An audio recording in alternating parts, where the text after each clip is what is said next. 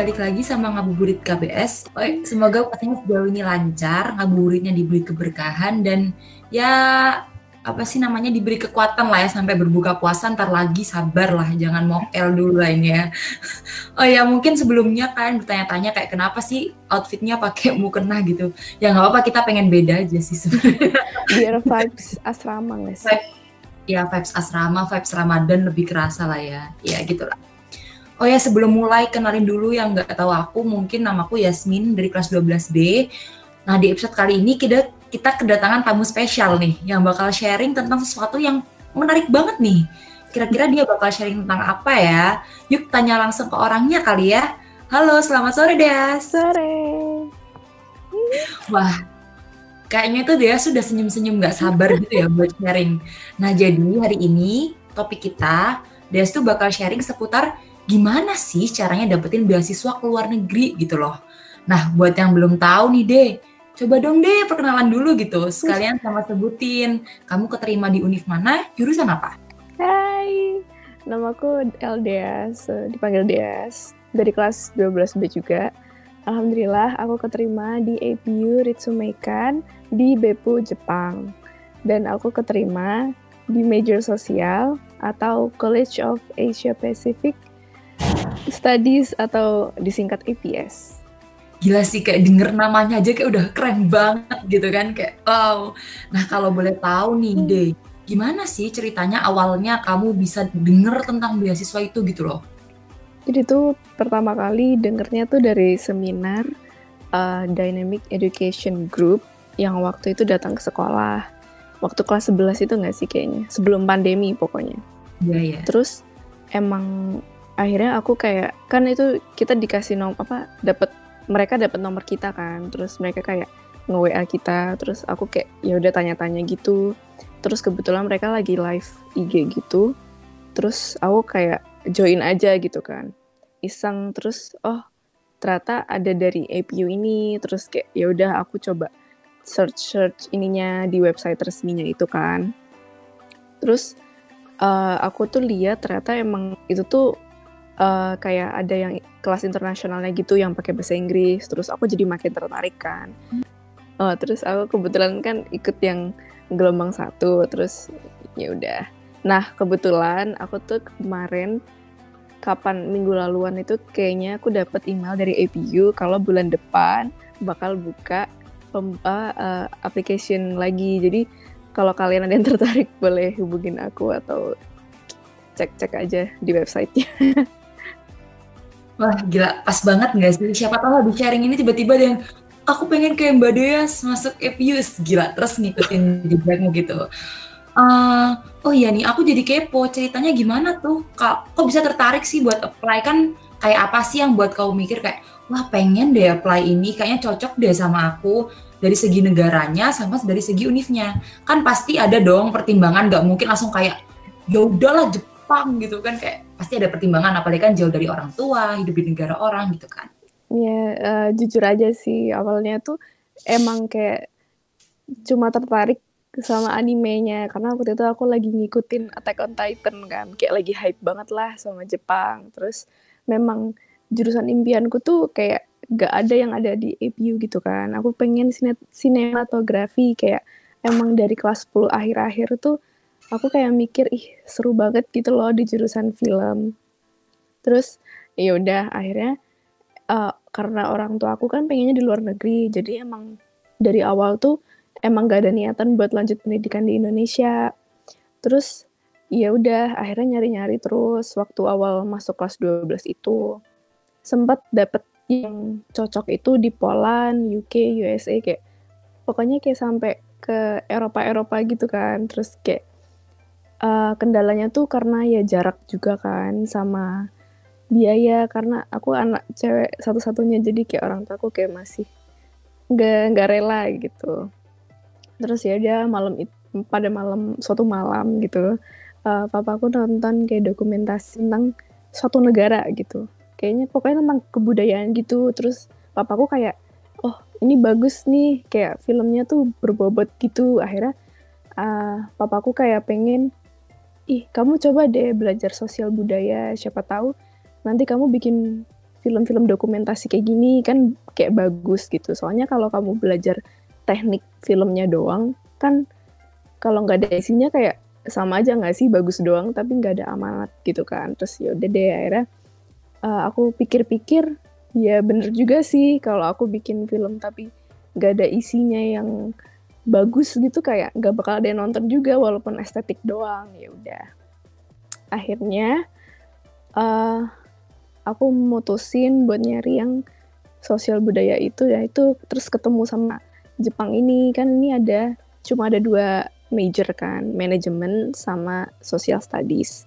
Terus ya udah aku coba tanya orang tua aku mereka setuju apa enggak kalau di Jepang? Terus ternyata mereka seneng banget. Terus um, karena mereka mikir nggak terlalu jauh budayanya, nggak terlalu jauh jaraknya, sama uh, biaya hidupnya tuh mungkin lebih nggak semahal di USA kan, kan di sana mahal banget. Terus ya pokoknya yang penting kayak masih deket-deket lah sama Indonesia.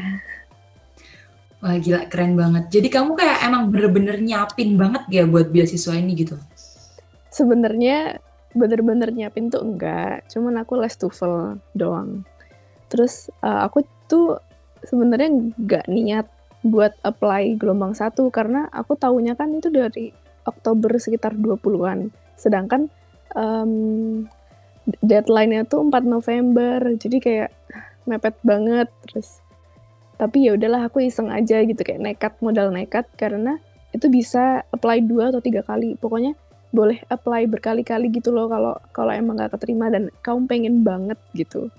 Terus ya udah eh ternyata um, pas tanggal 19 November aku dapat email kalau aku lolos tes uh, apply-nya. Terus ya udah uh, dipanggil untuk wawancara tanggal 29 November jam 11 aku inget banget itu. Karena nggak boleh telat 15 menit kan. Terus aku udah standby jam 10 tuh udah yang kayak tau gak sih nggak bisa ngomong apa-apa nggak bisa ngapa-ngapain. Aku sampai muntah dulu saking nervousnya itu. Gila sih kayak coba-coba tapi ujungnya berkah ya ini keren banget. Terus juga the power of kepepetnya emang keren banget sih emang the power of kepepet itu Oh ya deh kalau boleh tahu nih persyaratannya apa aja buat apply gitu? Dan gimana nih caranya kamu nyapin di waktu yang sempit banget itu gitu loh. Yang bisa dibilang yang diperluin tuh nggak terlalu susah. Kayak aku personally emang karena bener-bener iseng kayak modal nekat doang itu bener-bener kayak cuma ngumpul rapot data diri. Ya data-data diri kan pasti kalian udah itu mah gampang kan. Kayak yang tanya orang tua juga bisa. Terus sama uh, tes bahasa Inggris. Itu bisa waktu kemarin itu bisa TOEFL, IELTS, bisa pakai Duolingo English Test. Dan aku pakai itu karena murah dan paling cepet gitu. Soalnya habis tes itu cuma dua atau tiga hari itu paling lama. Udah langsung. Jadinya aku pakai itu biar cepet kan.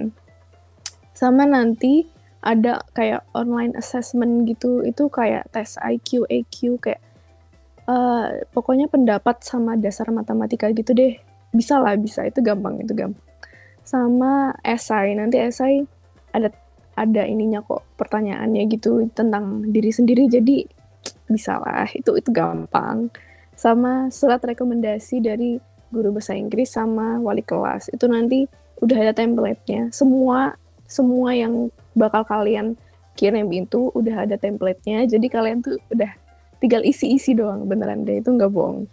Itu pokoknya karena itu mepet aku sampai neror Miss Ulfi, Miss Anis kayak ayo Miss bisa ya butuh malam ini Miss Miss saya butuh besok Miss. Ya pun itu kayak nggak enak banget karena aku kan ngubunginnya udah bukan kayak jam kerja gitu kan. Jadi kayak ya Allah itu sumpah itu nggak enak banget. Jadi di sini aku berterima kasih banget sama uh, Miss Ulfi sama Miss Anis karena udah mau direpotin. Makasih Miss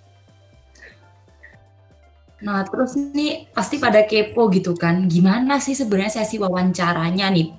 Kan aku yakin banyak loh yang pada deg-degan banget ngadepin sesi wawancara, biasanya setiap apply ke univ tertentu. Nah, kalau berdasarkan pengalamanmu nih, sesi wawancaranya itu seserem itu atau ternyata ya be aja gitu?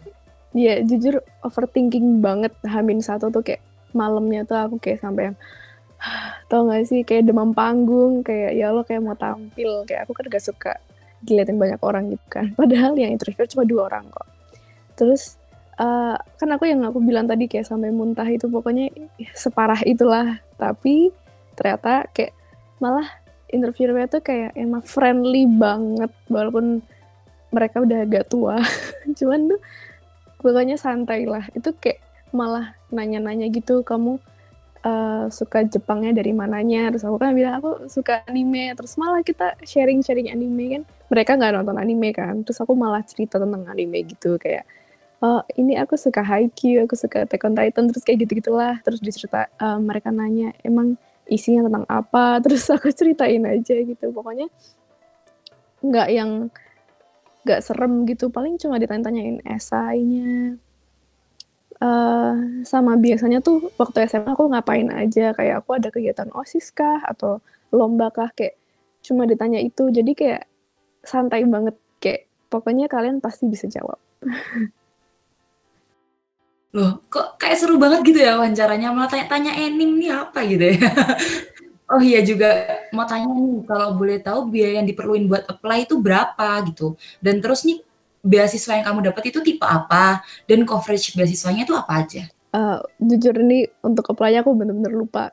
Pokoknya nggak sampai satu juta. Untuk apply itu kayaknya ya, ya normalnya berapa sih? 500 700-an mungkin ya. Aku aku lupa beneran aku sorry banget aku lupa. Terus aku dapat beasiswa 65% dan itu cuma tuition reduction. Kayak emang cuma biaya kuliahnya doang, jadi nggak termasuk asrama, biaya makan, sama ya hidupku lah. Pokoknya eh, terselain kuliah itu udah, itu nggak dipegang sama IPU. Nah, tapi IPU sendiri mereka itu udah me, apa ya, memberi bea itu variasi. Jadi kayak nggak semua orang sama. Jadi ada yang 0%, ada yang 30%, ada yang 50%, 65%, 80%, sama 100%. Tapi tenang aja. Jadi walaupun nggak dapet uh, 100% kayak aku, nanti tuh di APU bakal banyak kayak nggak tau lah mungkin acara, pameran, lomba gitu. Nanti yang menang itu bakal dapat beasiswa. Jadi apa ya? Kayak banyak jalan mencari beasiswa lah.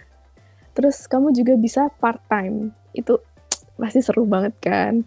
Jadi itu selama KBM, selama KBM itu kalian cuma boleh uh, bekerja part time selama 28 jam per minggu. Tapi kalau misal kayak bulan-bulan libur gitu, boleh sampai 40 jam per minggu. Dan mereka itu biasanya eh, nggak uh, mesti pakai bahasa Jepang. Jadi kalau misal kalian dapat part time yang kayak cuma di perpustakaannya APU atau kantin kan pasti murid-muridnya bisa bahasa Inggris kan. Jadi kayak nggak perlu bahasa Jepang lah. Cuman mungkin kalau di luar ya pasti kalian butuh bahasa Jepang. Jadi uh, apa ya? Um, bahasa Jepang tuh perlu. Cuman kalau untuk part time kalau bisa di APU nggak nggak nggak menurutku sih nggak terus nanti gajinya itu dihitungnya per jam.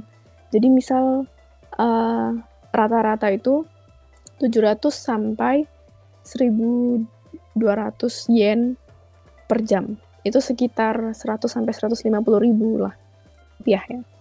Jadi kan kalau kalian emang full 24 deh 28 jam per minggu itu kalian udah dapet 2 juta 800 ribu gitu kan per minggu kayak. Itu lumayan banget loh itu, tapi kalau full kalau full ya kalau nggak ya ya bisa hitung lah.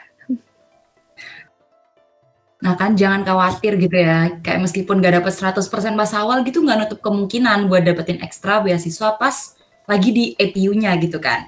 Oh ya ada terakhir deh ini, kan pasti ada nih beda bahasa nih ya, apalagi aku denger-dengar di Jepang, itu bahasa Inggris juga jarang dipakai nih buat bahasa sehari-hari masyarakat di sana. Nah, dari pihak kampusnya ada program belajar bahasa atau kamu harus belajar sendiri nih? Nah, tenang aja, EPU tuh menerima murid yang sama sekali nggak bisa bahasa Jepang kayak aku. Jadi kayak pokoknya mereka bener-bener biasa gitu. Soalnya emang Indonesia tuh kayaknya termasuk kelangganan deh masuk EPU. Ya ada Jepang, Thailand, banyak negara sebelah-sebelah itu ada. Nah, terus kebetulan APU itu kayak uh, ngadain les sebelum masuk gitu dari bulan ini uh, minggu depan sampai bulan Agustus itu les bahasa Jepang. Nah, terus nanti pas masuk udah masuk itu satu semester kalian tuh bakal belajar bahasa Jepang kayak uh, kayak mungkin kelas wajibnya gitu sama kalian kayak uji coba matkul gitu. Jadi kalian bisa milih matkul apa pun yang kalian pengen uji coba aja. Nah nanti yang semester 2 baru kalian bener-bener apa ya netapin memastikan matkulnya gitu kayak yang pasti gitu. Uh, tapi tetap ada ketentuan um, bahasa Jepang itu harus berapa matkul gitu. Jadi kayak tetap aja ada yang wajib, tapi kalau kalian bisa selesai di semester 1, kayaknya nggak perlu deh sampai semester 2 itu nggak pokoknya nggak wajib. Jadi oh, santai. Gitu. Oke oke oke, sukses selalu ya buat perkuliahan dan semua urusan ke depannya. Jangan lupa nanti bawa oleh-oleh pas balik Indo. Kayaknya ini kita udah banyak banget gak sih ngobrolnya dia buat adik atau mungkin ada teman seangkatan yang kira-kira masih kepo nih tentang berperbeasiswaan khususnya APU atau negara-negara lain. Kayaknya boleh deh langsung DM aja IG-nya Deas ya nggak? Apa deh? Iya boleh banget, follow aja Audeas A W D E A Z ntar Yasmin tolong cantumkan di mana pun ini ya. Atau kalian bisa apply lewat Dynamic Education Group, cari aja di Instagram atau nanti kalian DM aku, aku kasih nomornya. Pokoknya kalau untuk di ini DEG itu dia bisa ke negara mana pun, jadi nggak mesti di EPU atau Jepang. Oke oke oke. Kayaknya cukup nggak sih Des sharing hari ini? Udah udah cukup Makasih banget. banyak ya Des ya udah nyempetin waktunya buat sharing-sharing gini. Semoga bincang-bincang kita bermanfaat buat siapa pun yang lagi pusing nyiapin perkuliahan. Semoga dapat insight lah ya. Kayak mungkin siapa tahu tiba-tiba aku pengen jadi adik tingkatnya Deas. Gila gila gila. Nyusul gitu kan ya. Atau temen se temen setingkatnya kayak misalnya ada se ada yang apa sih namanya? Se aduh ada angkatan 8 yang mungkin tertarik bentar lagi buat apply juga. Boleh atau Mbak Yasmin iya iya kita lihat nanti kali ya. Ya kayaknya sekian deh. Selamat sore dan selamat berbuka puasa sebentar lagi. Dan oh iya semoga ibadah Ramadannya dilancarkan selalu semuanya. Sampai jumpa. Dadah. Assalamualaikum warahmatullahi wabarakatuh